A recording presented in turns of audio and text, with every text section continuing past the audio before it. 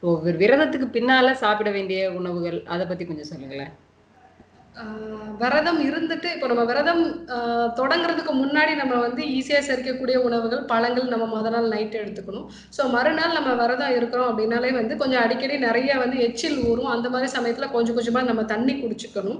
ஒரு இப்போ காலையிலேருந்து சாயங்காலம் வரைக்கும் நீங்கள் விரதம் இருக்கிறீங்கன்னா மத்தியானத்துக்கு அப்புறமாவே உங்களுக்கு வந்து அந்த பசி மட்டுப்பட ஆரம்பிச்சிடும் ஏன்னா வந்து அந்த செக்ரேஷனே இருக்காது உங்களுக்கு பெரும்பாலும். பட் ஆனால் இது மைண்டில் தான் நமக்கு தோணும். நம்ம போய் உடனே நிறைய சாப்பிடணும் அப்படின்னு சொல்லிட்டு. பட் எல்லாருக்குமே வந்து பசி வந்து மனசுல தான் இருக்கும். ஏன்னா வந்து ஒரு மத்தியானம் ஒரு மூணு மணிக்கு ஏன்னா உங்களுக்கு ஒரு பசி உணர்வு வருது அதுக்கப்புறம் நீங்க உணவு போடணும். உணவு போட்டாதான் வந்து திருப்பியும் அது பசிக்கும். நீங்க பார்த்துருப்பீங்க ஒரே டைம்ல நம்ம சாப்பிட்டுட்டே வந்தோம்னா கரெக்டா அந்த டைம்ல பசிக்கும். அது மாதிரி நீங்க உணவு போட்டாதான் பசிக்கும். ஸோ அதுக்கப்புறம் அந்த பசியோட உணர்வு கொஞ்சம் கொஞ்சமாக மட்டுப்பட ஆரம்பிச்சிடும். நீங்கள் அதை நான் ஞாபகத்தில் வச்சுக்கிட்டீங்கனாலே போதும். சாயங்கால சமயத்தில் அந்த விரதத்தை முடிக்கும் பொழுது முதல்ல கொஞ்சம் தண்ணி வெது வெதுப்பான தண்ணியை வந்து குடிச்சு தொண்டையை ஃபர்ஸ்ட் நினைச்சிட்டு ஒரு நல்லா அந்த வயிற்றுல நிறைய வந்து கேஸ் வந்து தங்கியிருக்கும். ஸோ அதெல்லாம் எலிமினேட் பண்றதுக்கு வந்து ஜீரகம் சேர்த்த தண்ணியோ இல்லை வெது வெதுப்பான தண்ணியோ முதல்ல வந்து நம்ம எடுத்துக்கணும். அது மட்டும் இல்லாம இந்த ஒரு ஒரு பன்னெண்டு மணி நேரமோ இல்லை ஒரு பதினாறு மணி நேரமோ நம்ம வந்து விரதம் இருக்கிறதுனால உடம்புல பித்தத்தோட அளவு கூடும். ஹீட் அதாவது அதிகமா இருக்கும். ஸோ என்னன்னா வந்து நம்மளோட செல்ல வந்து இருக்கக்கூடிய கொழுப்பெல்லாம் எரிக்கப்படும். ஸோ அந்த மாதிரி சமயத்தில் உடம்பு ரொம்ப ஹீட்டாக இருக்கும். ஸோ அந்த மாதிரி சமயத்தில் வந்து ஈஸியாக செரிக்கக்கூடிய உணவுகள் தான் நம்ம எடுத்துக்கணும். இட்லி அதே மாதிரி கஞ்சி மோர் சாதம் இந்த மாதிரி எடுத்துக்கணும். இந்த மாதிரி காய்கறிகளில் பார்த்தீங்கன்னா முக்கியமாக வந்து அந்த பூசணிக்காய் வந்து இந்த பித்தத்தை நல்லா வந்து குறைக்கும். அதே மாதிரி நெல்லிக்காய் சாப்பிடலாம். ஸோ நெல்லிக்காய் வந்து விரதம் இருந்து அது முடியும் பொழுது நம்ம நெல்லிக்காயை வந்து ஜூஸ் மாதிரி பண்ணியோ அந்த மாதிரி நம்ம சாப்பிடலாம். ஸோ பச்சடி வகைகள் நம்ம சாப்பிடலாம். ஸோ நீர்த்துவமான காய்கறிகளை வந்து நிறைய எடுத்துக்கணும். செரிமானத்துக்கு கஷ்டமான விஷயங்கள் வந்து இந்த அசைவ உணவுகளோ இல்லை அதிகமாக எண்ணெயில் பொறிச்ச உணவுகளோ வந்து நம்ம தவிர்க்கிறது நல்லது. ஸோ அதை மட்டும் நம்ம பண்ணினாலே நமக்கு வந்து ஈஸியாக விரதத்தை வந்து முடிக்க முடியும். அடுத்தடுத்து நீங்கள் கரெக்டாக உங்கள் ம உடம்பு சொல்கிறத கேட்டிங்கனாலே அடுத்தடுத்து உங்களுக்கு அவ்வளோ தூரம்லாம் பசி வராது. நீங்கள் ஒரு பதினாறுலேருந்து பதினெட்டு மணி நேரம் நீங்கள் விரதம் இருந்து பார்த்தீங்கன்னா தெரியும். ஸோ அப்போ உங்களுக்கு வந்து நிறைய சாப்பிடணும்னா முதல்ல தோணாது. ஸோ அதை நீங்கள் அதே மாதிரி உங்கள் உடம்பு என்ன சொல்லுதோ அதை அப்படியே ஃபாலோ பண்ணீங்கனாலே போதும். நீங்கள் ஆட்டோமேட்டிக்காக நீங்கள் வந்து திருப்பி ரெகுலருக்கு வந்துடணும் அது மாதிரி பசிச்சு சாப்பிட்டோம் இல்ல வந்து உடல் சொல்றத கேட்டோம் அப்படின்னாலே வந்து பாதி பாதியில முழு பிரச்சனைகளும் வராம இருக்கும்னு நீங்க சொல்றீங்க. ரொம்ப நல்ல விஷயம். இப்போ வந்து குழந்தைகள் வந்து வீட்டுல இப்போ வந்து அடிக்கடி சாப்பிட்டுட்டே இருப்பாங்க. அவங்கள வந்து இந்த இப்ப நம்ம சொல்ற எந்த வழிமுறைகளும் வந்து கட்டுப்படுத்தாது. அவங்கள எப்படி வந்து நல்ல உணவு சாப்பிட்றதுக்கு பழக்கப்படுத்துறது? ஏன்னா இப்ப பாத்தீங்கன்னா வீட்டுல ஜங்க் ஃபுட் இருக்கோ இல்லையோ ஏதாவது குறிச்சுக்கிட்டே இருப்பாங்க. ஒரு சாதாரணமா ஏதாவது பொருட்கள் கொறிக்க இருந்துகிட்டே இருக்கும் அவங்களுக்கு. அவங்கள எப்படி வந்து நல்ல உணவுகளுக்கு பழக்கப்படுத்துறது? குழந்தைங்க வந்து ஜங்க் ஃபுட்டு நிறைய கேட்குறாங்க அது மட்டும் இல்லைன்னா ஏதாவது குறைக்கிறதுக்கு கேட்குறாங்க சிம்பிளாக அவங்களோட சைக்காலஜி பார்த்துக்கோங்க. அவங்களுக்கு வேற செய்யறதுக்கு வேற எதுவும் வேலை இல்லை. அதனால தான் இதை கேட்குறாங்க ஸோ நீங்கள் பார்த்தீங்கன்னா நீங்கள் சின்ன வயசுல வந்து டே வெளியில போய் விளையாடுவாங்க குழந்தைங்க அவங்க வந்து மத்தியானம் சாப்பாடு கூட சாப்பிட மாட்டாங்க. காலை சாப்பாடு கூட சாப்பிட மாட்டாங்க. இந்த விளையாட்டோட ஆர்வம்லாம் முடிஞ்சிட்டு வந்த பிறகு வீட்டில் எப்போயாவது அம்மா அடிப்பாங்கன்னு பயந்து வந்து தான் வந்து கொஞ்சம் சாப்பிட்டு போவாங்க. நீங்கள் கவனிச்சிங்க அப்படின்னு. இன்னைக்கு நம்ம வீட்டுக்குள்ளேயே குழந்தைங்களை வச்சுக்கிறதுனால தான் அவங்கள வந்து இப்போ நம்ம ஏதாவது ஒரு வேலை பார்த்துட்டு இருக்கோம் நம்ம கிட்ட வருவாங்க வராத தள்ளிப்போம் அப்படின்னா அப்ப எனக்கு ஏதாவது கொடுங்க அப்பதான் அம்மா வந்து குழந்தைய பார்ப்பாங்க. இது ஒரு அட்டென்ஷன் சீக்கிங் தான். ஸோ அது அவங்க குழந்தைங்க வந்து கொஞ்சம் கொஞ்சமா வந்து இந்த ஒரு விஷயத்த பழகிட்டாங்க. ஸோ நம்ம அவங்களுக்கான கரெக்டான டைம் வந்து ஸ்பெண்ட் பண்ணோம் அப்படின்னா ஆட்டோமேட்டிக்கா இந்த மாதிரி விஷயங்கள்லாம் அதிகமாக கேட்க மாட்டாங்க. இல்லை அந்த மாதிரி சமயத்தில் நம்ம அவங்களுக்கு நட்ஸ் கொடுத்து பழகலாம். ஹெல்த்தியான ஒரு மெத்தடு அப்படின்னா ஒரு நட்ஸ் எல்லாம் அவங்களுக்கு நம்ம கொடுக்கலாம். பழங்கள்லாம் நம்ம வந்து கொடுக்கலாம்.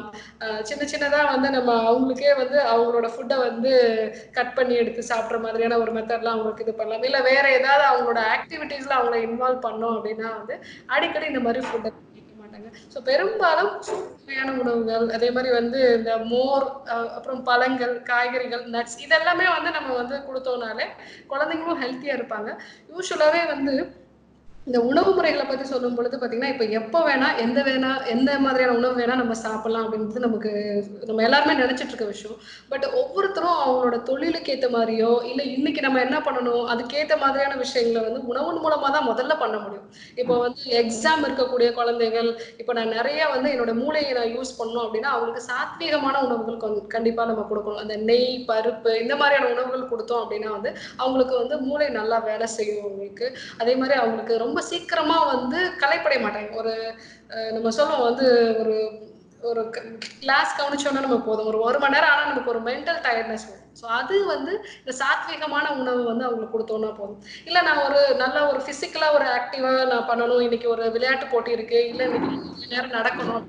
அவங்களுக்கு வந்து நம்ம வந்து மாமிசம் சேர்ந்து அந்த சூப் கொடுக்கறது அதே மாதிரி வந்து கொஞ்சம் ரஜோகுணம் இருக்கக்கூடிய உணவுகளை வந்து நம்ம அவங்களுக்கு வந்து கொடுக்கலாம்.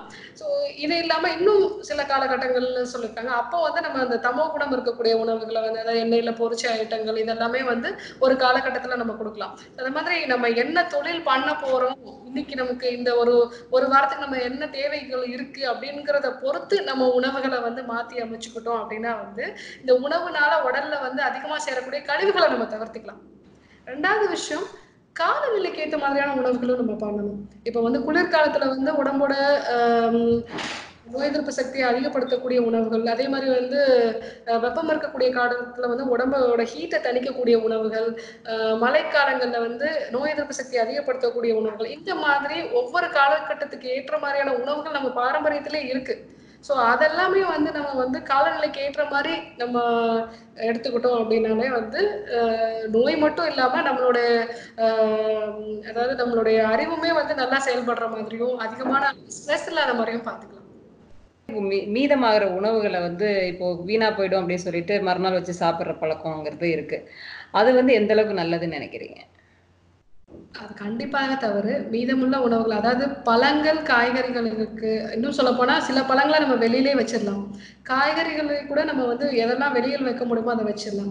ஸோ ஒரு ரெண்டு மூணு நாளைக்கு உபயோகப்படுத்துகிற மாவை தவிர மற்ற எதையுமே வந்து நம்ம ஃப்ரிட்ஜில் வச்சு யூஸ் பண்ணாமல் இருக்கிறது தான் நல்லது.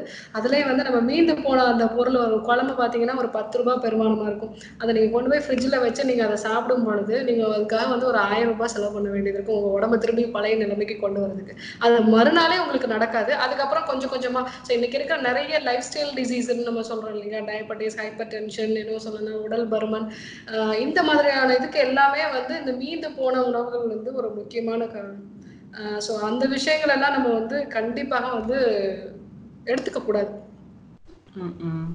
ஏன்னா இன்னைக்கு இருக்கிற காலகட்டங்கள்ல பாத்தீங்கன்னா அந்தந்த நேரத்துக்கு சமைச்சு சாப்பிடலாம் அப்படிங்கிற ஒரு சூழல் இருந்தாலும் எந்த நேரமும் கிச்சன்ல இருக்கிற மாதிரியே ஒரு ஃபீலிங் இருந்துட்டே இருக்கும் பெண்களுக்கு.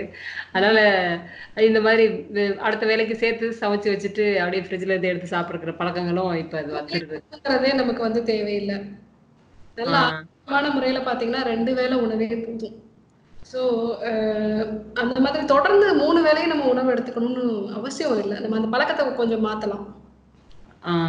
ஓகே ஓகே ஓகே சில பேருக்கு முடி கொட்டுறது இல்லை சில பேருக்கு வந்து உடல் பருமன் அடைகிறது இப்போ வந்து கொ- கொழுப்பு கூடி போகிறது இந்த மாதிரியான விஷயங்கள்லாம் இருக்கு இல்லையா? இந்த மாதிரி வீட்டில் இருந்துக்கிட்டே அவங்க என்ன மாதிரியான தற்காப்பு விஷயங்களை செஞ்சுக்கலாம். இப்போ வீட்டில் வந்து இருக்கிறதுனால இப்போ எண்ணெய் தேய்ச்சி வச்சுக்கிறதோ இல்லை வந்து இந்த இதை ஊற வச்சு இதை குளிக்கணும் அப்படிங்கிறதோ வந்து சாத்தியமான விஷயம் தான் அதுக்காக கேட்குறேன் இந்த லாக்டவுன் பீரியடுங்கிறது வந்து நிறைய பேருக்கு ஒரு வரப்பிரசாதமாக தான் இருக்கு. ஏன்னா நீங்க எண்ணெய் தேய்ச்சி குளிக்கிற பழக்கம் இல்லாதவங்க எல்லாம் இப்போ வந்து எண்ணெய் தேய்ச்சி குளிக்கிறாங்க. அது மட்டும் இல்லாமல் தலையில எண்ணெயே வைக்காதவங்க எல்லாமே இப்போ நம்ம எண்ணெய் வைக்க ஆரம்பிக்கிறாங்க. ஸோ இந்த மாதிரியான காலகட்டத்தில் அவங்க வீட்டில் இருந்தபடியே வந்து அதாவது எண்ணெயை வந்து நம்ம கரு கருவேப்பிலை வெட்டி வேர் இதெல்லாம் சேர்த்து காய்ச்சின அந்த எண்ணெயை வந்து நம்ம தலையில வச்சுட்டு ஊற வச்சு அதுக்கப்புறமா குளிக்கும்போது அந்த மயிர்கால்கள்லாம் நம்ம ஸ்ட்ரென்த் ஆகும். ஸோ வீட்லேயே வந்து நீங்க அதாவது நம்ம குளியல் பொடி மாதிரி ப்ரிப்பேர் பண்ணிட்டு இல்லை கடலை மாவு இல்லை பாசிப்பயிறு மாவு இருந்தது அப்படின்னா அதை வந்து நம்ம வந்து கொஞ்சமாக கொஞ்சமா மஞ்சள் சேர்த்து பேக் மாதிரி ப்ரிப்பேர் பண்ணலாம். ஸோ சில பேருக்கு வந்து ஸ்கின் வந்து ரொம்ப சென்சிட்டிவா இருக்குன்னா முதல்ல கொஞ்சம் தேங்காய் எண்ணெய் போட்டுட்டு அதுக்கப்புறமா கடலை மாவு மஞ்சள் தயிர் இதெல்லாம் சேர்த்து ஒரு பேக் மாதிரி போடும்போது அந்த ஃபேஸ் வந்து நல்லா க்ளோ ஆகும் முக்கியமான விஷயம் நம்ம வந்து அதிகமான நேரம் வந்து ஏசியில இல்லாம நல்லா வேர்க்கிற மாதிரி கிச்சன்லயோ இல்லை நம்ம வாக் பண்றதோ மற்ற விஷயங்கள் பண்ணாலே ஸ்கின் நல்லா க்ளோவா இருக்கும். ஸோ இன்னும் சொல்ல போனா இருக்கும் பொழுதே வந்து ஆட்டோமேட்டிக்காக நம்மளோட உடல் வந்து நல்ல புத்துணர்வு பெறும். ஸோ நிறைய விஷயங்களை நம்ம வந்து ஒரு பதட்டம் இல்லாமல் நம்ம செய்வோம்.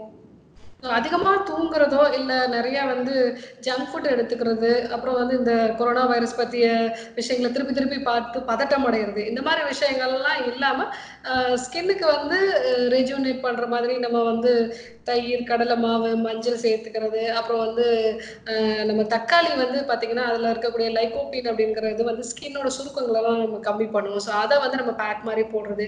சில பேருக்கு ஸ்கின்ல சுருக்கம் இருந்ததுன்னா முட்டையோட வெள்ளை கருவை வந்து நம்ம ஒரு பேக் மாதிரி போடுறது.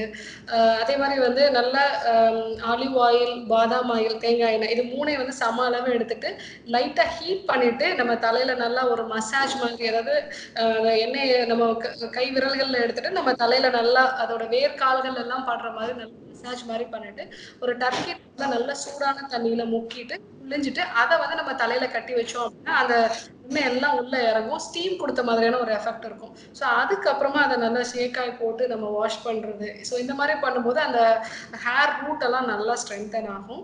ஸோ இதெல்லாம் பண்ணா நம்ம வந்து இந்த லாக்டவுன் முடிஞ்சு வரும் பொழுது நல்லா ஃப்ரெஷ்ஷாக வரலாம். தமிழ் மீடியா சேனலை சப்ஸ்கிரைப் பண்ணுங்கள்